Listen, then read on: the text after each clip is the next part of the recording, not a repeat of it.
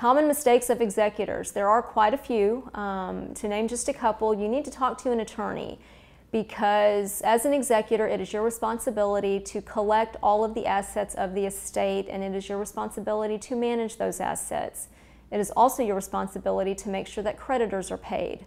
And there is a certain priority of how creditors can be paid and who is to be paid first. And so one common mistake is as executor, you think, hey, let me collect all of the assets and let me just make sure that all of the credit card bills are paid, the utility bills are paid, um, any notes are paid, and you really need to talk to an attorney to make sure that you're following the correct order. That's just one of many mistakes that an executor can make.